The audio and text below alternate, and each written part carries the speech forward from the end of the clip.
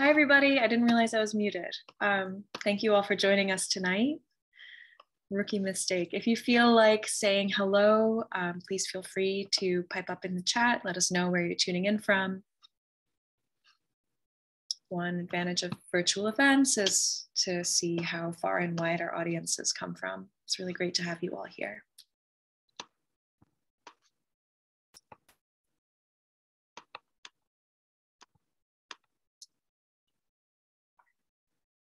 Okay. All right, well, I want to take as little. Hi, Marina, tuning in from Syracuse. Thank you for letting us know. Um, if anybody else wants to let us know where they're tuning in from, that would be great. And make sure to check out Cynthia's book, the featured book tonight. I just posted the link in the chat. And um, I'll just get started with our intro so as not to waste any time.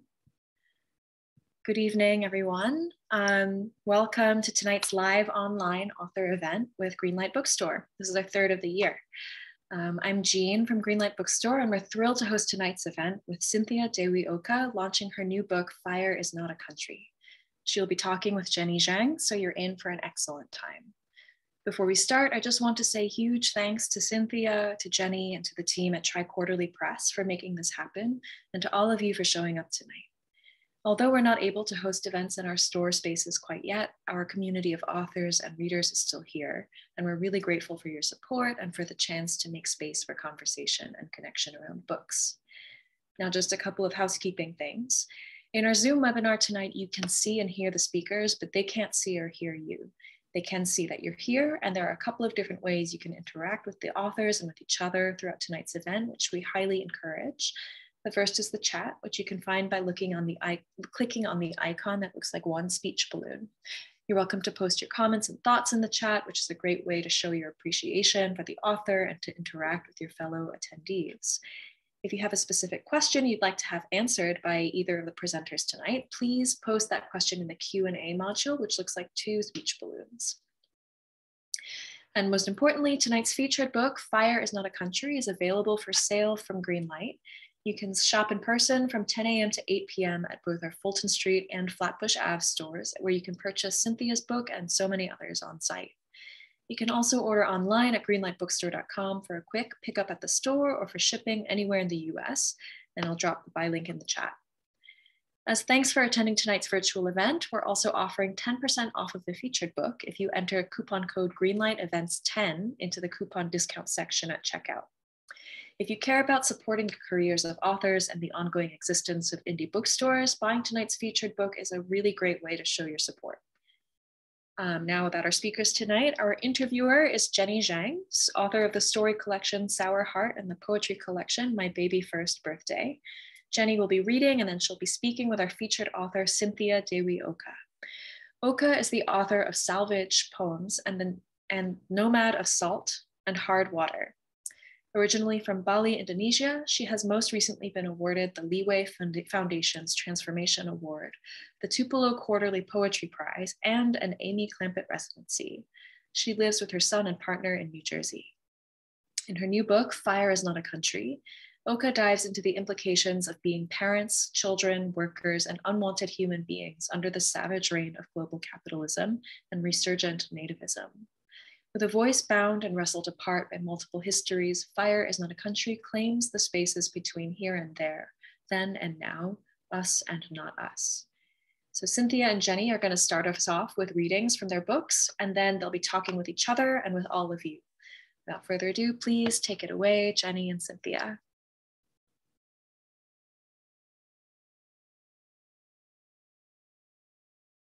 Oh, I, I was also muted. it's like taking um i guess uh, a lot of us including me a second to get back to doing zoom stuff after the brief feeling of being with people in person. Um, anyway i'm really excited um, to celebrate cynthia and fire's not a country. And uh, it feels like a very cozy night with all of you even though i can't see any of you. But um, and you know maybe some of you guys are in non-cozy situations but it it's it feels really nice and um, i'm going to take it in. I'm going to just read two poems and then um, you guys will get to hear from cynthia and then we'll talk. And um, feel free to put your thoughts in the chat at any point or put a question in the q&a um, i'm going to read um, an older poem. It's from uh, my book, My Baby First Birthday, and um, uh, the book is is um, organized into four seasons. And uh, since we are in the middle of winter, I thought I would read the last poem from uh, winter because um, I'm always looking forward. This is called Goo Goo Water. On my baby first birthday, I drank goo goo water. My parents ate Mongolian beef. I had chicken with broccoli.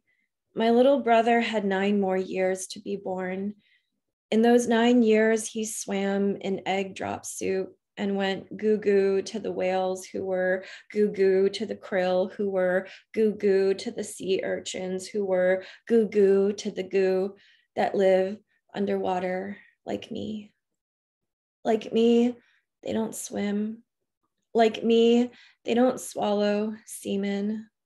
If semen gets stuck in their mouths, they just goo goo it onto another sick fuck, which is not as sad as not being who you say you are, which is not as sad as not being who you want to be, which is not as sad as not being who you could be which is not as sad as not being who you should have been. I should have been born with big fat cunt lips for lips. I should have been born with the skinny regular cunt for a cunt. Had I been, then my little cunt could have given farewell speeches at the end of great moments like this moment, when my mother said she was glad she gave birth to me, and I said I was too, and she knelt down by my cunt lips and kissed the very mouth that said what had to be said. Um, okay. It really is uh, hard to get used to doing Zoom again. Um, all right, I'm going to read. Um, I don't know if, I don't know I want to either read a poem about my cat or a poem um, that is a tribute to a Frank Ocean song. um, no, I can't do both. Um, I'll, I will, you know, I'll read a poem for my cat because um, I don't know these are hard times. and um, cats are wonderful mystic beings. Um, maybe it'll be fun also to see um, the, the the the the journey from how I used to write to how I write now because this is actually the most um, the newest poem that I've written. Um, it's the most recent poem I've written. It is called um, my sweet angel on earth, thank you for this life. um, not trying to be subtle. The idea of my current life began one solar revolution ago. To think I almost missed this, called the hotline numbers, dropped the mask, old friends who still pick up on the first ring. It was hard to get up. Mostly, I crawled like a crushed bug. If I lived, it was only partly will and partly divine. That afternoon, I walked out into the sun, one foot in front of the other. I wasn't trying to step in front of the bus, but neither could I bring myself to look both ways. It is a miracle some people can't, and other people also can't, but their body stays intact, sinking through the floorboards, down through the basement, and the sub basement and the sub sub basement and the sub sub sub sub. There's no more earth to dig up. The fire holds over the lake, and the air is still when rain ripples through the cracked soil. Sonia found your mom on the roof. What creature doesn't want to be fed? What creature doesn't care to be held? What callousness have we enacted to make earthly creatures so fearful? When you were born, I was terribly alone. It crossed my mind nothing would ever change. I looked for the fates and the furies, the generational curses and the inauspicious beginnings where it was written in the stars. At the very least, I would have liked to blame God. I didn't know what it was like to feel another heartbeat. When you show me your belly, I remember all the times I tried and couldn't. Every single instance, it's an emergency out there. Every single instance, I chose the wrong time, the wrong place, the wrong person to be soft with. We make shapes all through the night. I love it when you perch on me, we hold each other. And it's not about being a container for pain or healing the birth wound. It is really not about saving the world anymore. I feel humble because of you, and I know gratitude too. We spoon through all the phases of the moon and sunbathe in the mornings. I finally know what this feeling is like I want to explain, but I honestly can't. To make the words as much or more than the actual experience would be impossible, maybe even wrong. Your love is the sweetest love. It is a miracle, for I still feel sorrow. I still cry for days. The pain is still very much here. But now that this is more than an idea, I have began I have begun to learn to make myself happy. Waiting for things to change seems silly now. Every day you know more of the world. I'm your mom, and you are my baby, and we have a beautiful life together. All right, thanks, guys. Um, please, uh, I guess, give it up silently or loudly in your own homes for Cynthia Dewi.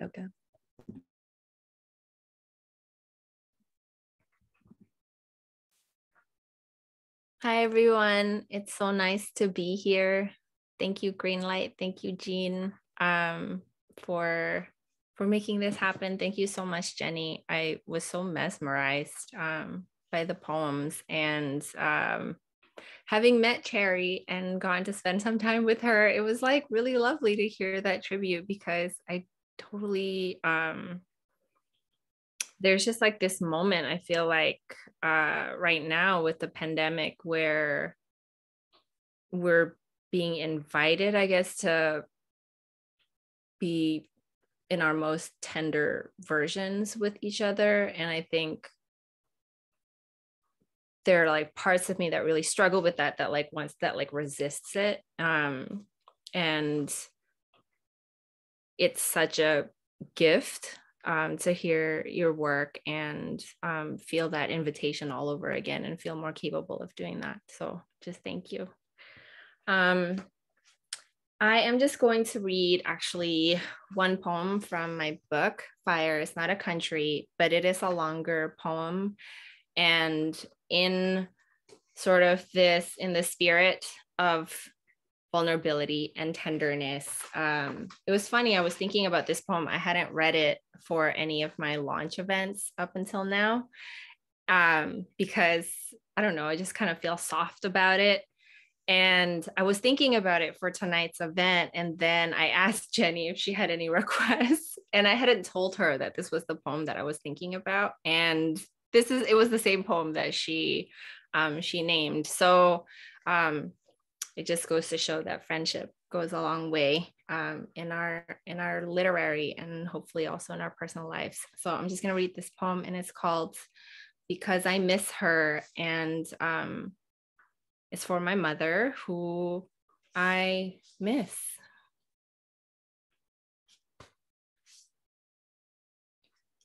Because I miss her stay with me.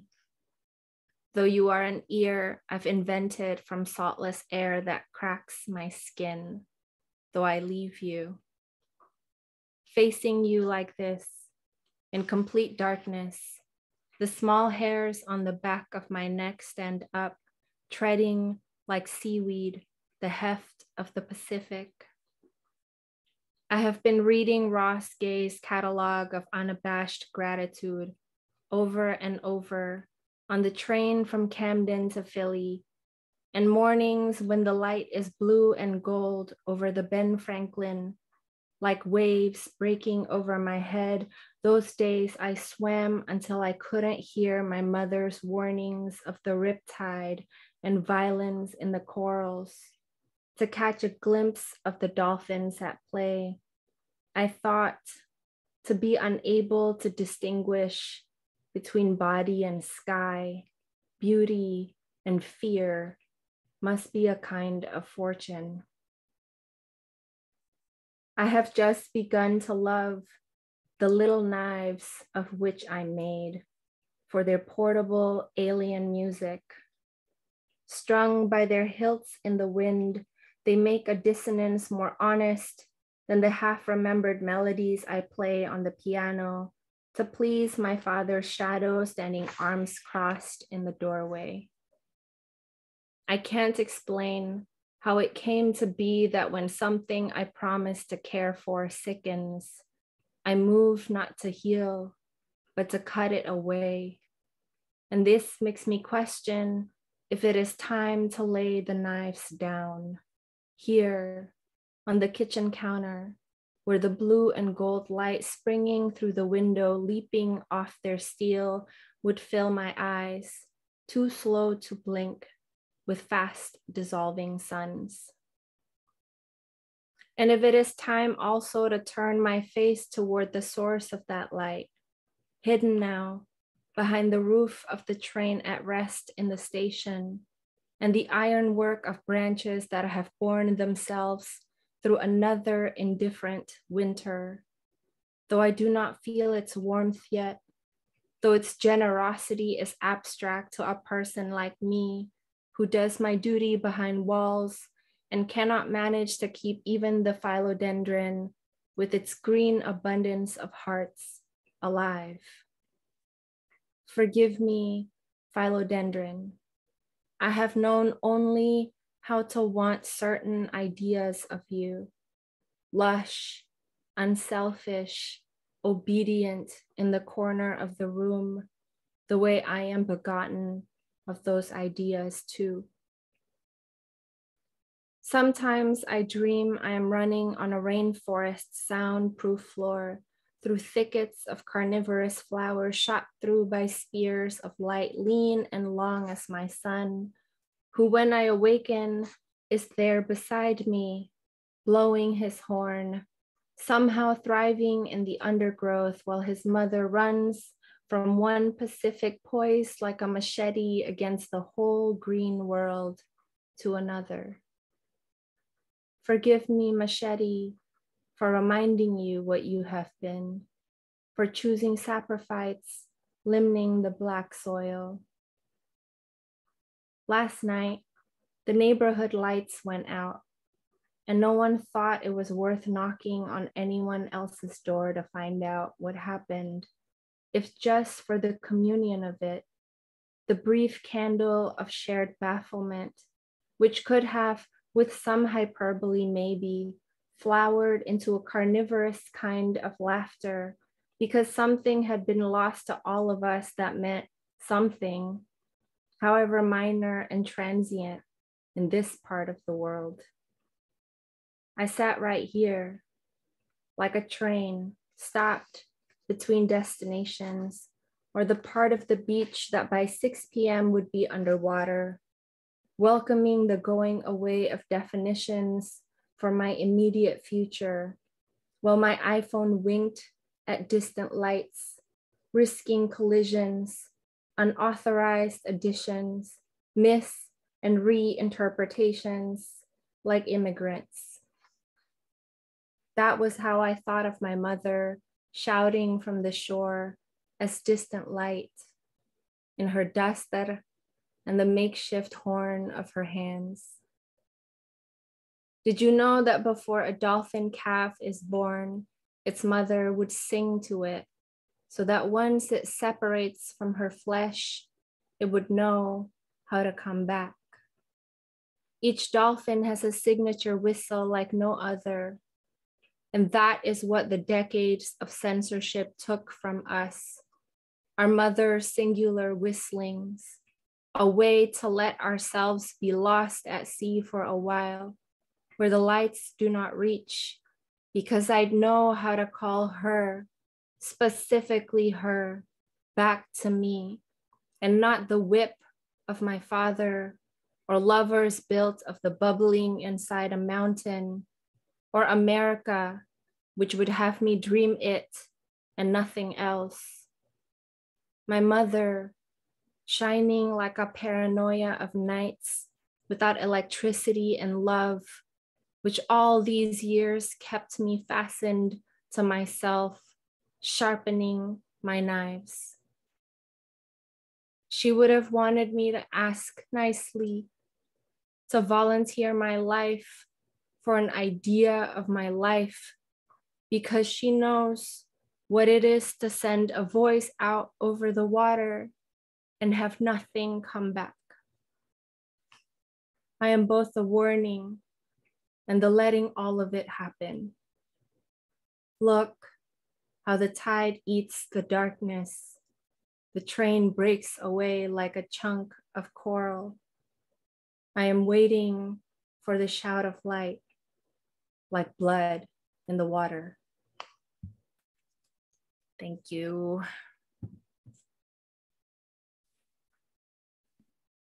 Thank you so much. How are you doing, Cynthia?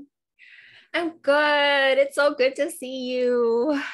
Amazing to see you. I get I get emotional now at everything. Um, but I feel happy to be in these little squares with you. Okay. Um, I have to ask you the hardest question in the world, which is so unfair, but but because you read this um, wonderful poem, because I miss her, I have to ask you this question, which is um, how do we begin to love the little knives of which we are made of? And you don't have the answer to that, but I'm wondering. Yeah, the people. That's such a good question. Um, I and I think you know I I also want to hear um, what you think about that because um, I think there's something about the reflective surfaces of the knives um, that I was thinking about um, because I think, and I don't, I don't, you know, I, I can only speak for myself, but I grew up in a culture, in a country, in a family where um, I was loaded from very early on with notions of who I was supposed to be, sometimes these things were contradictory and they were very loud. Like it, it, it's like, you know, waking up every day with to like a cacophony in your head about who you are supposed to be. And um and it made as though I was like uh like as though I was an empty room or a reflective surface for all of these projections of what people wanted you know you have to be like the perfect child or like the um, best daughter and the most obedient and whatever the yeah. top of the class or like whatever whatever and then later it becomes like you know submissive woman and machine worker who like never stops like and i think that um i began to love the knives because they were like slivers. I felt them like cuts, you know, like it, it's almost like cuts inside me that then turned sharp themselves and became um, the beginnings of like where I could glimpse the person that I could be, that I wanted to be. And it's like, I feels like it feels like they're um, it, it feels like glimpses. Mm-hmm, uh, mm-hmm. You know what I mean? Um, and then I think sometimes they knock together and make their own music. And I think that sometimes we get told, like when the music of those knives come out, we are told that we are being um, bad, aggressive, evil women um, because we are not behaving the way we should, or we are not speaking um, in the ways that please everybody. Um, mm. But I also felt like often they were um, the truest things that I had to say, even if they were like the most, even if they were imperfect. Mm. If that makes sense. So I think it's both just like the fact that they, you know, kind of operated like little mirrors. And even the fact that they cut me, I think, you know, I think a lot about this. Like, I feel like we live in a world that gaslights us so much about how okay we are supposed to be with everything. Yeah. And I think they remind me that that's not true. They remind me that I am injured by the world and that is valid and um that nobody gets to tell me that these things didn't happen even you know they can tell themselves that these things didn't happen but the the little knives are like my version of events mm-hmm. so totally yeah what do you think it it what you're saying and um that line in your poem it makes me think of um, the Little Mermaid. Do you remember the Hans Christian mm-hmm. Little Mermaid? Um, I, am sure everyone here, many of you know, um, but you know, there's the Disney version, and then there's the one that um, was written hundreds of years before that. And I always liked in the Hans Christian Andersen version how basically like it's like this thing where mermaids live like 400 to 500 years and then they become sea foam and uh, every mermaid girl when they become of age they get to go one day into the human world and kind of it's just like kind of metaphorical thing of like getting older means getting to see what else is out there and what you can't have so that your life is somehow both more painful and meaningful or wow. something like like the bliss is not real until you see what you can never have. So like all the little mermaids get to go up and see the world but all of them are like oh i like it so much better down here. Like this the, the sea under the sea is the best. We don't care for like those ugly humans except for the little mermaid who goes who her whole life has wanted to be part of the human world. Um, and she like goes and sees this shipwreck and then this prince on the ship that she falls in love with you know falls into the ocean. She drags him out into shore and saves him. Um, and it's like a whole thing but she has to leave by sunup so he never knows that it's her. But anyway long lead up to what you were saying which is that um, she goes to the witch and she's like i'll give you my beautiful singing voice if you can cut up my fins and give me legs, right? And I always loved that in that version, the whole time she's human, every time she walks, she feels these sharp knives cutting into the stumps mm-hmm. of her legs. And so every mm. step is like physically painful mm. because I was always looking for as a child like physical expressions of invisible like pain right and um this is like a long digression, but when I was um, really little, I broke a mirror and I, I put my, I kind of rubbed my hand over the mirror and the shard went into my finger right here. Mm. And it never, it like didn't come out for years. It was just like stuck in there. And I would try every single day to get it out. But there was like this other part of me that liked it because every time I played the piano when I had to practice every day, I'd feel the pain and I knew it was like a legitimate pain because I could see the glass shard. Whereas I I couldn't be sure if everything else it just wasn't tangible. It wasn't like physical. Yeah. So I kind of just wanted to bring that up because I liked the way that you made um, things so tangible um, in in that poem and in your book and in that line. But also uh, I don't really know the answer to my own question. I, I, this is like my lifelong question of like, um, how do we accept and love the fact that like after a certain point on earth people are walking around maimed and wounded and that's just the state of things. And it's not a depressing thing or a sobering thing or a shocking thing. Like that's just like having a body for a while right? And we have to find a way to love that anyway. It, it's i don't know. I, I don't i really don't know the answer. I just uh i put the question out for everyone.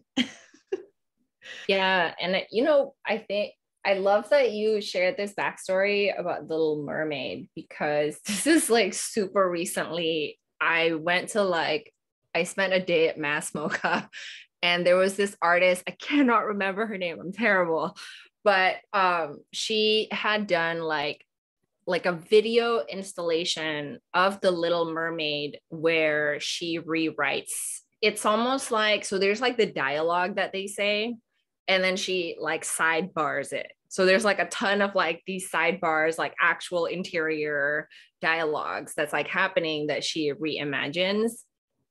And um, it's really funny um, really smart. But then it was like the first time that i realized that the little mermaid like I mean the Disney version, but also it sounds um, true in this part anyway to the um, original Hans Christian Andersen version um, of it as an immigrant story because you actually like trade being in a new land with your voice.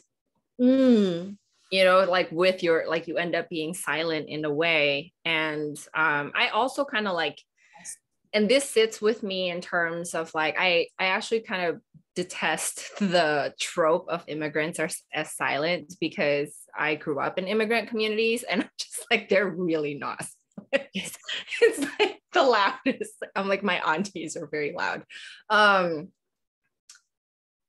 but what it is is about sort of like the voice that you do have the world around you suddenly can't hear um and that is like a form of silence that i think we don't like it feels like the onus is always on the silenced to speak as opposed to like the people who are not listening to actually listen. Um and i think that's also like connected to what you were saying about like these how do you there's like the part of us that like needs to that that very um it's like a really visceral reaction like as a kid to like be able to see the cut and feel the pain to like know that the thing is real right? Like the pain is real like you were saying. And then how do you ask for help? Or like how do you communicate it to somebody? And i think about like the ways that like um yeah like gender migration class like all of these things kind of like they sit on top of each other where it's like even if we know it's real um for ourselves there's like all of these ways that we can't make it real for others or yeah. like it's difficult to make it real for others because it feels like you're like talking in a soundproof room um yeah yeah and right. yeah no, you're right. I can't, it, it really is an immigrant parable because also the thing about um, immigration and migration is other people are not curious about you and people. I just always remember how in both the Disney version and the Hans Christian Andersen, the prince thinks the Little Mermaid is just this cute little like deaf and dumb mute, yeah. and it's just a little child. And the and you've talked about this a lot the ways in which we like infantilize especially like immigrant women and also men and um and i, I just remember uh at my book my first ever big book launch um there was uh, uh i can't get into the details I, am going to get into some of the details but i can't get into all the details but basically it was a book launch where literally none of my friends or family could go because it got sold out within like one second and so like literally no one was like really like there for me, but it was like all white people except for my parents who I had managed to get comp tickets for. And I just remember like all them in. Yeah, I had to like beg for my own parents to come to my event. But um all these people, all these white women kept coming up to me and be like, "Are those your parents? They're so cute." And you know, they said that because they were the only Asian people in the whole bookstore. But. I also was like, yeah, they are cute, but they're also not cute in the way you think they're cute. Right. Like you just you just say the word cute because to to you they're like personalityless little like people. Yeah. Um, but yeah, that's what I thought of when you were talking about um, the Little Mermaid. I was also wondering. Um, here's another kind of like big question because I always wonder about titles, and I feel like Fire is Not a Country is such an evocative title. And I guess I'm curious, like, what is fire to you, and what is a country to you? These are such big questions. Thank you, Jenny. Uh, good God. Let me be like, Uh, yeah. You know, I think fire is like I, I was like having this conversation like with the with the Rumpus book club um because the um their coordinator uh Brian Spears um he grew up like uh you know he grew up in Jehovah's Witnesses. And so he was like talking about like what fire meant in that tradition as um sort of like this purifying force that you know kind of makes the world a higher version of itself. Um and how uh and you know like he, he he's speaking about it like in a, in a way that that i think was like critical. Um because we don't necessarily think about like the cost you know of well who gets burnt though? Like when you want to purify the world. Um and i you know I, I come from a country with like a profoundly violent history. Um indonesia was colonized for like 350 years by like the dutch. Um they were terrible and then also for like four years during world war ii by the japanese. And then um shortly after independence like not too long after they also like you know people in my country also murdered each other.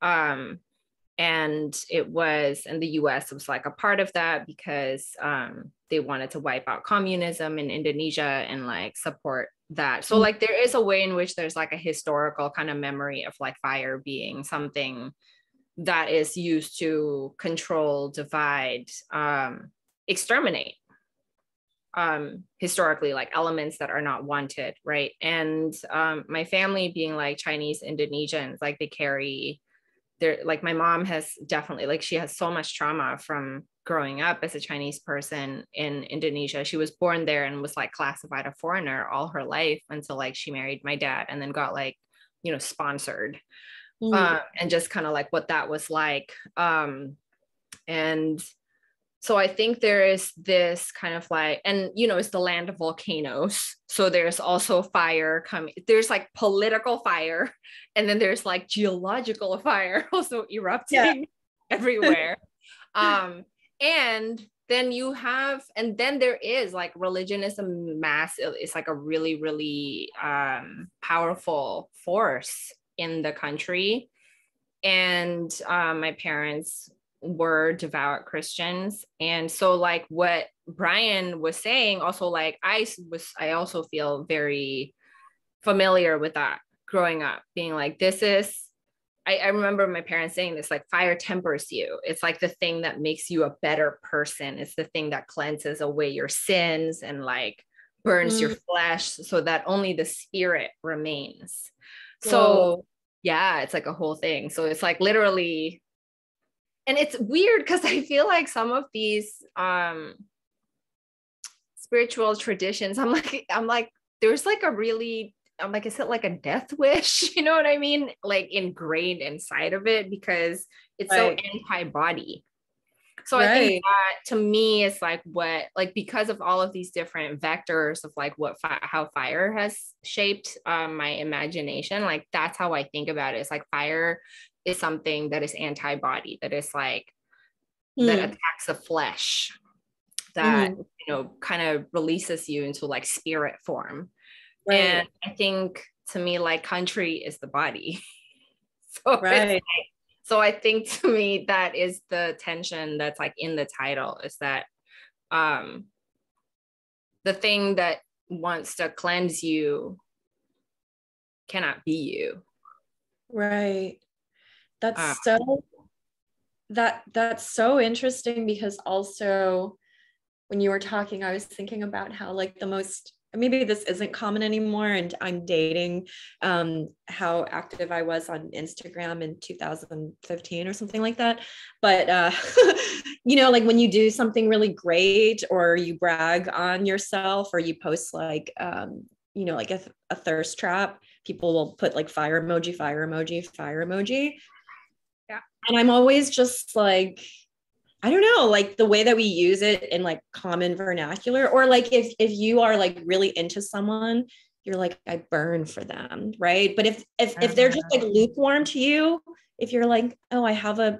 you know reasonable small simmering flame for them, like no one's like, yeah, that's the guy for you. Like Right, you're supposed to right. burn for them. You're supposed to um, you know, your loins are supposed to burn.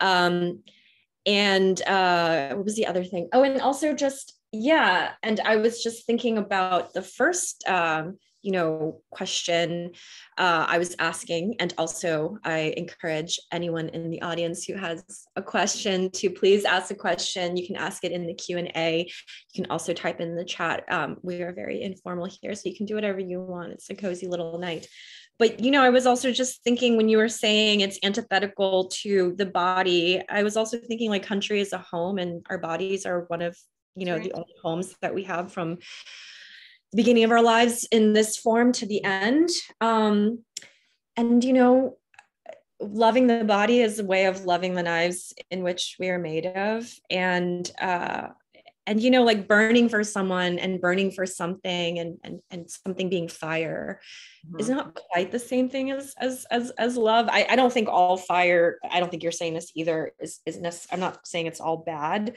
but it it is kind of like an unsustainable thing, right? Which is why the idea of like infinite fire is so terrifying because no fire is supposed to last for like that long. but so those are kind of all of the things uh, that I was thinking of when you were talking, Cynthia. Yeah, and actually, what you just made me think of, um, because of the fire, fire, fire, fire, fire, is also, I mean, like the language that we use. It's like uh, we need to fuel up. Um, people get burned out, right? Yes. Like literally, or um, and Yes. I, I, and I do think that um, like speaking as like a like an Asian presenting person, like in America and also like before in Canada as a kid, like be like being called hot was like also it is fringed with danger, right? it's like it's fringed with danger. It's fringed with sort of like, oh, somebody wants to consume you and control you and like take you. And it's not just like um, I don't know, it's not like fireworks. You know what I mean? It's like, no, you're like a log that we want we want to put in in the fireplace. Um, so I don't I don't know. I think there is something, and you know, I I and what's funny is like, so I had this like amazing tarot reading with our good friend Ariana. Shout out to Uh, Ariana. Ariana, we are invoking your name tonight. Um, yes, Dream City Tarot, everybody, like we totally recommend it. Um, but Ariana was like, you know, what I kept coming up like in this particular reading for me was wands, and wands is like fire. That there's been a lot of it in like sort of my past, and that's or also something sort of that um that is my challenge in the present and um, she said this thing that um, was so difficult and also beautiful for me to hear. Um, but she was like, you know, you get to have water too. Um, she's like, you also deserve water. And um, what would it be like, you know, to kind of invite and to put yourself into spaces where what's flowing into you is water and what you're like activating like it's not just like fiery electric energy all the time. Um and so i think yeah i, I feel like in in a way like that poem that i just i read it's like that's like almost like my prayer to you know it's like it's for my mom it's thinking about my mom but it's like there's a reason that like that the kind of love that um I wish for her and I wish for myself is like associated with like the ocean. Even though the mm. ocean is also like, you know, it is also a dangerous place. It is also a place where loss happens and death happens. Um, where there's like corals that can fuck up your feet and your legs. It's happened to me. Um, but there's something about that energy that um, water holds the body water mm. doesn't turn it to dust that makes mm. sense yeah that does make sense yeah you can also very easily get lost in the watery depths as i have this is true but there's pitfalls in, all of the elements uh, yeah um you know i was um rereading your book last night um, in the water in the bathtub yeah. and uh, I, I noticed that you had a lot of poems um, about fathering and being fathered and fathers and i remember i was once uh, in the before times at this uh, literary festival uh, with this like very international group of writers. And um, as often happens in those situations people go out for drinks like after the dinner and then you're kind of wandering this like foreign town with a bunch of also foreign people with you know no one has any connection to anything and you're just kind of prowling about. And then a couple of like drunk sort of older men start pontificating on what literature is and isn't and and i get really annoyed and try to troll them. Um, but i remember this one older uh, gentleman um, was like he was like in every story like uh, i'm going to say this right now like in every story every story is like looking for the father.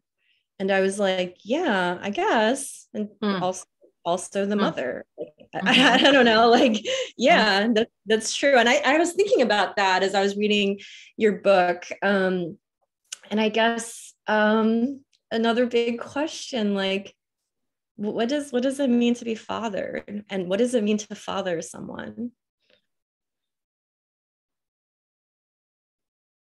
wow i mean i would say what does it mean to be fathered like i do have a good ideal response to this which is the witcher season two i haven't seen um, that yeah. Anyone- so Henry Cavill in like a, a long blonde wig being Geralt of Rivia.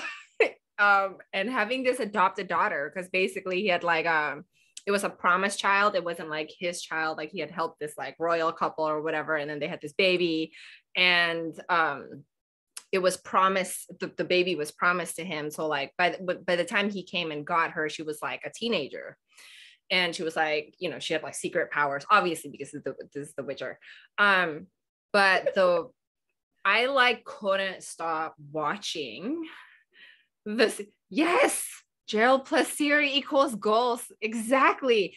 Um really? because yes it was such an incredible it was such a healing tale to watch um mm. to see this relationship unfold um his dedication to protecting her even when he kept failing.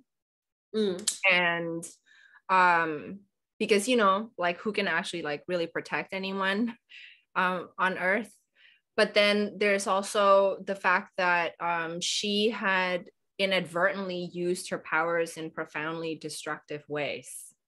Because she know she, she had had no one to sort of like guide her on how to use them.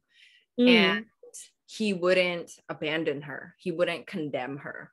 Mm. like, like i am here and it is not perfect and i want you to come home you know? Um and i just like watched that series and like bawled my face a lot because i think that when i think about fathering i think about um effort. Like what's the what is the effort to um to protect to create a safe environment um to mm-hmm.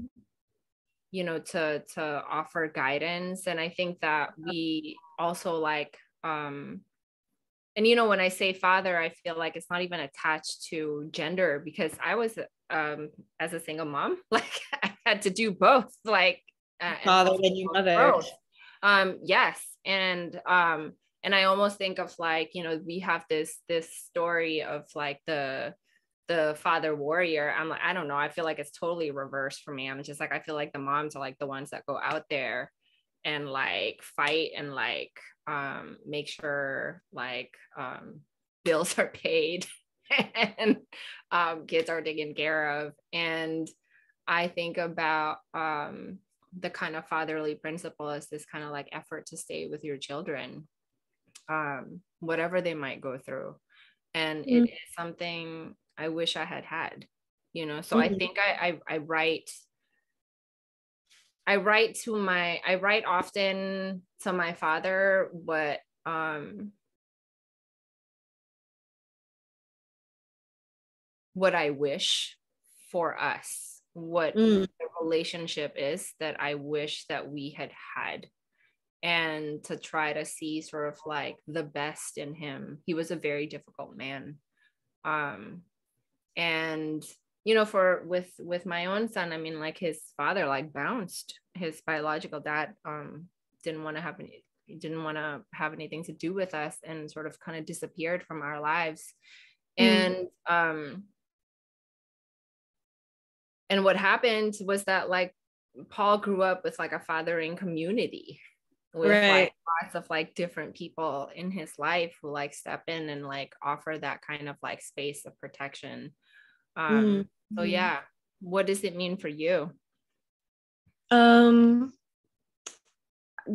that's such a like the the, the fathering community I, I really connect to mm-hmm. and I, I was thinking about this question because I often think about I, I, I often get hung up on like the idea of like mothering and mothering other people and mothering myself mm-hmm. and being mothered and um, like all the different forms of motherhood and maybe that's kind of a more uh, and maybe there's like a lot of pressure for people who identify as women to think about like mothering more sometimes than um, fathering but uh, you know, uh, speaking of tarot and uh, our sweet friend Ariana Lenarski, I always had a very like um, intensely negative reaction whenever, for those of you guys who know tarot, whenever I would get like um, the kind of like king king cards, like right. the king of swords or like the king of, especially the king of swords, and also a little bit like the king of of wands um, but also the emperor. Like all of these sort of like father like figures um, really bothered me and i have a chinese tarot deck where one of the cards which i think is like maybe like the hierophant or something in the um in the rider waite deck is like confucius and i'm like very triggered by confucius because of sort of um the way in which like the like his teachings would like filter down and uh, into my experience you know by uh, you know like a parent telling me that like no matter what my parents said to me and no matter how they treated me i have to be grateful. And i just very like resented these kind of like great men and their authorities yeah. and their structures and their belief systems that they created that then impacted entire civilizations for generations and that you know were filtered down through the ancestors to make it so that i felt so trapped and and and and so um, I'm stuck. So I had a very sort of like uh, bad reaction to the idea like being fathered by someone, whether it was my own father or whether it mm. was like, you know, a friend or a, um, a, a authority figure, anyone who was authoritarian, anyone who claimed the absolute rule of law, I was just so bothered by. I was like, how dare you absolutely claim any of this? Yeah. And then um, I think I came to understand that you know it's like what you were saying about like too much fire and then i was saying about too much water like there this is so sort of basic but it's like there has to be a balance right? Like there has to be a structure for like like for all the water there has to be like a well structure for the water to be and otherwise it's just everywhere. Um, there has to be a container there has to be um, something uh, there has to be like solid ground to you know build the structures upon. And maybe that can be a way of thinking about the father that isn't so you know about inflicting punishment and more about like creating stability and structure. I don't know. Um yeah.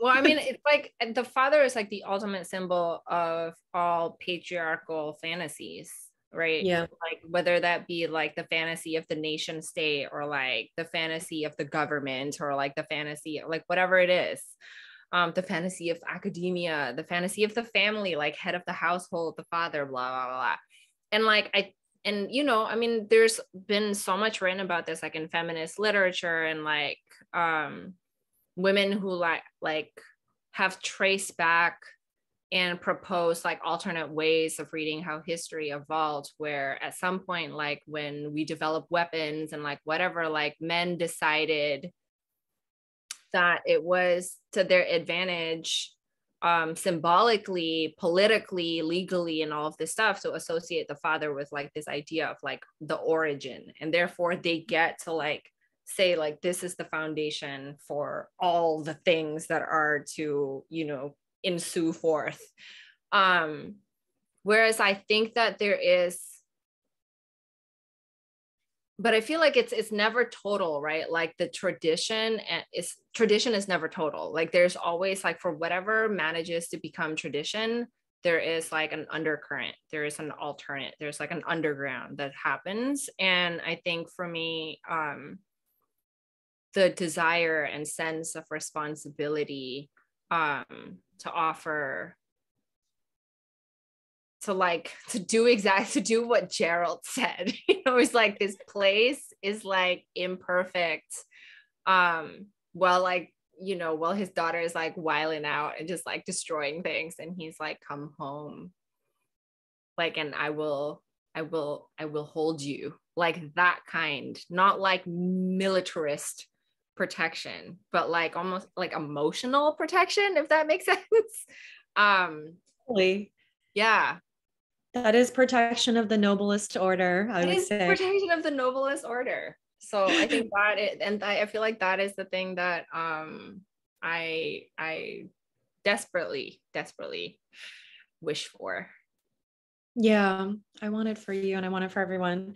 Um, we'll have, we'll ask, we'll answer this one question and then we'll um, send everyone off um, back into their homes from where they already are. Cynthia and Jenny, what directions are you headed in on and or off the page from from here, from Greenlight Bookstore?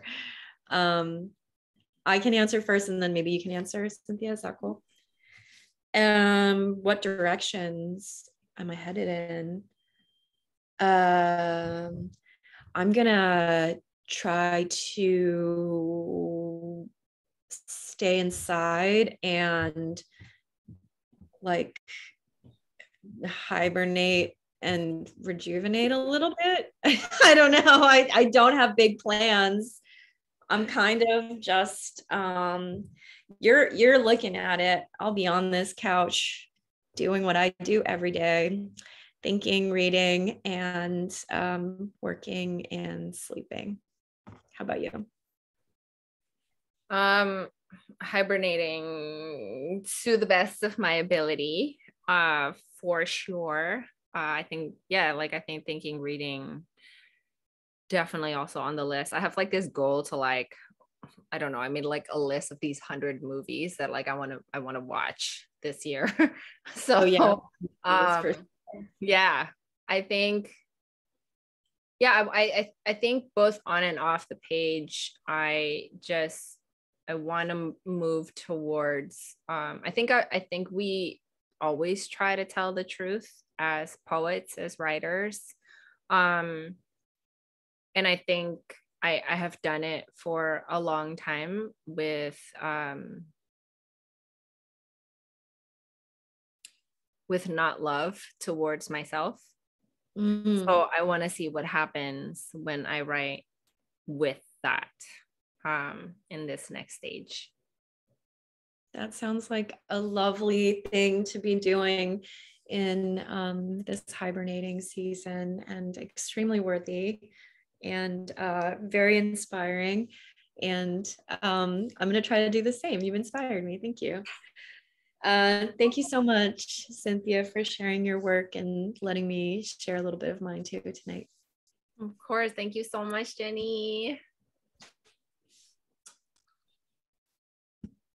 Thank you both so much. That was such a great conversation. It's sad to curtail it here, but um, thank you everyone for showing up tonight. Um, make sure to get your copy of Fire is Not a Country from Greenlight and have a wonderful, wonderful evening. Thank you so much, Cynthia, Jenny. Take good care. Happy hibernating. Bye, everyone.